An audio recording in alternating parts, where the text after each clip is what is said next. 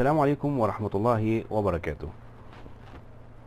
معنا اليوم مع الدرس السابع من دروس دورة العناية بالقدم السكري واللي بنقدمها لكل مرضى السكر والغير مرضى السكر. معكم الدكتور طارق تركي استشاري جراحة العظام والعناية بالقدم والقدم السكري. موضوعنا اليوم موضوع مهم جدا جدا جدا. إيه هي الأسباب والعوامل اللي بتساعد في حدوث القدم السكري؟ عند مريض السكر. اتكلمنا في الدروس اللي فاتت عن حاجات خدناها بالترتيب وصلنا لغاية الدرس بتاع النهاردة اللي هي الأسباب والعوامل المساعدة لحدوث القدم السكري. طبعا أهم سبب في حدوث القدم السكري هو عدم انضباط السكر في الدم. إما نتيجة إن العلاج اللي المريض بياخده مش مناسب أو إما المريض بياخد العلاج متقطع أو المريض ما بياخدش العلاج خالص أو المريض بيلخبط في الأكل أو المريض ما بيلتزمش بالحمية وبالرياضة وبالتالي يؤدي إلى ثلاث أشياء مهمين. تلف الأعصاب الطرفية وهو بداية كل المشاكل اللي في الرجل مشاكل في الجلد مشاكل في المناعة مشاكل في الكلى وكمان مشاكل في اللي هو الدورة الدموية الطرفية. كل ده ممكن يسبب القدم السكري ومشاكل في القدم. طيب هنشوف الأسباب الرئيسية اللي بتؤدي إلى القدم السكري عند مريض السكر. زي ما إحنا قلنا السبب الأساسي اللي هو نقطة نقطة الهرم عدم انتظام السكر وطول فترة السكر أكثر من عشر سنوات.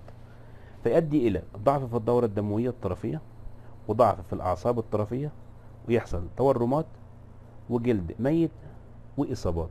كل دول الأسباب الرئيسية. خمس أسباب رئيسية مهمة لمرضى السكر إن يحصل في رجليهم قدم سكري. ضعف الدورة الدموية ضعف الأعصاب الطرفية التورمات والوذمات الجلد الميت الإصابات. وزي ما إحنا شايفين الحاجات دي كلها هي اللي بتسبب الخمس أسباب الرئيسية للقدم السكري.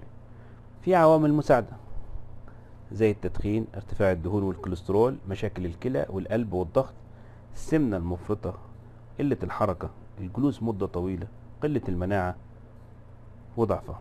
كمان لخبطة في الأكل عدم الالتزام بنظام غذائي معين عدم أخذ العلاج في وقته. اهي دي العوامل المساعدة. قلنا الكوليسترول الزايد والدهون التدخين الضغط السمنة ومشاكل في الكلى والدورة الدموية. عوامل مساعدة موضعية زي التشوهات اللي في القدم.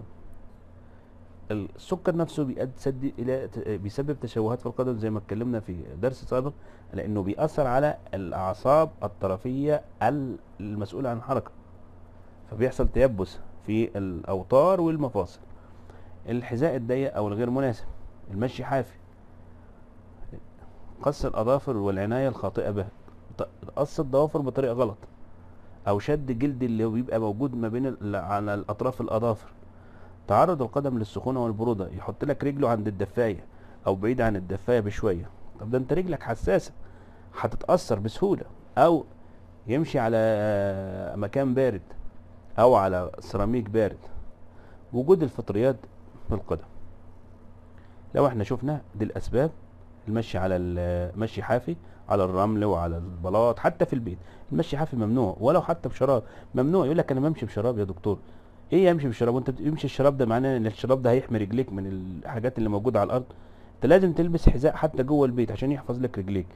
مش يحفظ الرجلين من تحت حتى الأطراف حتى من قدام حتى من ورا عشان ما تتصدمش بشيء. تتصدمش بشيء حاد أو كعب يتخبط في شيء. كل دي مهمة جدا. فلازم رجليك تكون جوه شيء يحافظ على رجليك من كل الجوانب من تحت من فوق من من من, من الجناب. الأحذية الغير مناسبة والأحذية الكعب العالي زي ما إحنا شايفين وخصوصا يجي مرضى السكر يقول لك إحنا بنلبس الكعب بس في أيام في المناسبات أو في العزايم أو في في الأعياد أو في الخروجات. ده غلط. أشوف هنا التشوهات اللي موجودة التشوهات الموجوده آه كمان الفطريات كمان قص الضوافر بطريقة غلط وعدم العناية بالقدم. طيب في عوامل وظيفية بتساعد على حدوث القدم السكري اللي هي إيه؟ الأعمال اللي بتتطلب ارتداء أحذية ثقيلة زي الب- البنايين واللي شغالين في المعمار وطول فترات الوقوف والمشي اللي بيقف فترة طويلة أو بيمشي فترة طويلة فيعمل اجهاد للرجل. العمل في الحقل والمناطق الوعرة المناطق الإيه؟ منخفضه والعالية. المواد اللي فيها كيماويات الوقوف على الأرض السخنة أو الباردة المناخ الرطب الأشواك والمسامير والدبابيس. وديت بعض من الحاجات اللي إحنا بنشوفها هي العوامل اللي بتساعد في أثناء الإيه؟ الوظيفة. عوامل أخرى بتساعد على حدوث القدم السكري منها المناخ والحذاء. المناخ الحار بيشجع الناس تلبس أحذية وصنادل وده غلط. الأحذية والصنادل غلط لأن رجلك بتكون مكشوفة خصوصا الشباشب اللي بيبقى ليها صابع وتخش ما بين الصابع الأول والتاني فدي ممكن تقطع الصوابع. دي ما بتحميش الرجل خالص لو تحميلك لا من الإصابة ولا من الحر أو الجفاف. كمان إن الحذاء بيحافظ على الرجل من الجفاف وده شيء كويس.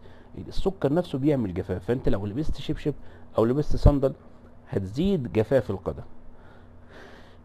فتتعرض القدمين للالتهاب. الصندل والشبشب ذو الفواصل بين الاصابعين قد يسبب جرح الأصبع ويسبب مضاعفات العادات زي المشي حافي منتشر كتير في القرى ويكون عادة أو المشي على الشواطئ حافي.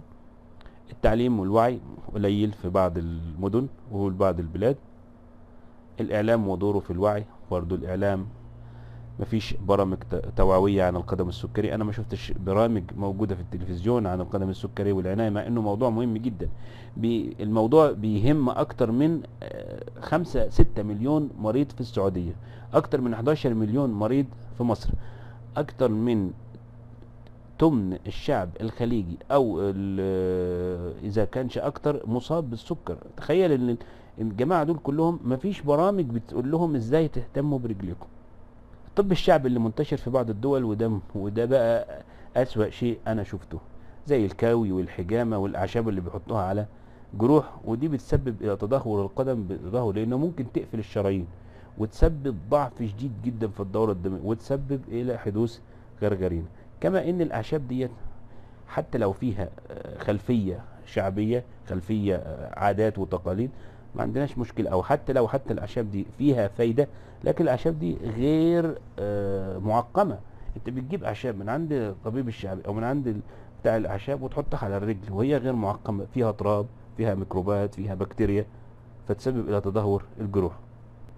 العض من بعض القوارض زي في الريف اللي بيكثر في الأماكن الزراعية واللي فيها الرعاية الصحية قليلة. كده يبقى إحنا انتهينا من الأسباب والعوامل اللي بتساعد في حدوث القدم السكري عند مريض السكر.